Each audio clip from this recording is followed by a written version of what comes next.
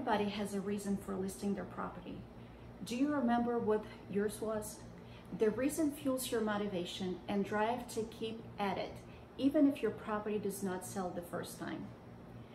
But since you have let your listing expire, perhaps your motivation has changed. Why did you decide not to relist? To get to the heart of the matter, we have three questions for you to consider. What made you decide to list your property? Has something about your motivation changed since you first listed your property? And finally, did the sale process become frustrating?